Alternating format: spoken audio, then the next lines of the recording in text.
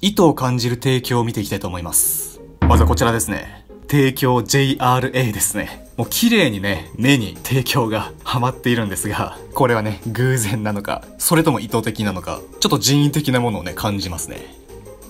次、こちらですね。暗殺教室ですね。そのキャラクターに、提供がね、こちらも目にしっかりと当てはまっています。提供集英社ですね。もうこういうデザインのね、キャラクターに見えてきますね。もうなんか集英社とね、ズブズブの関係のような目が提供のキャラクターです。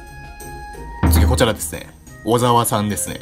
提供、感情奉行ということで、かなり意味深な提供ですね、こちら。提供、感情奉行。もうこんなに綺麗にね、目に提供当てはまるもんなんですかね。ちょっとね、人の意図をね、感じてしまいますね。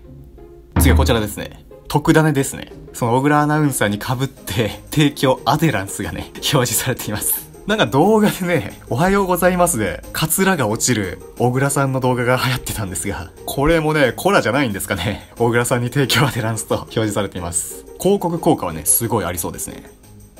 次こちらですね。提供 KDDI ですね。その D の穴から目がね、両方見えてますね。これはね、なんか偶然っぽいんですが、よく目の幅とね、D の穴の幅合いましたね。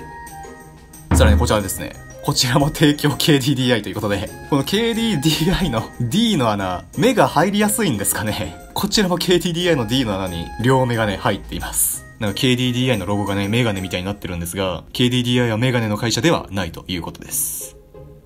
次はこちらですね。ヤンキースイチロー選手、日米通算4000本安打達成という字幕が入って、こちらもね、4000本のゼロに目がね、綺麗に入ってますね。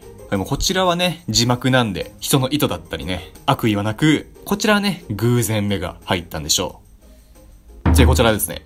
提供フマキラーということで、こういうパターンもあるんですね。フマキラーのね、マとラに目が入ってますね、こちら。こちらね、おそらく偶然なんですが、もうフマキラーにも目が入る穴あったんですね。もう提供はどんなロゴでもね、出演者の目を常に狙っているんですね。はい、いたずらはね、バレないようにしましょう。以上です。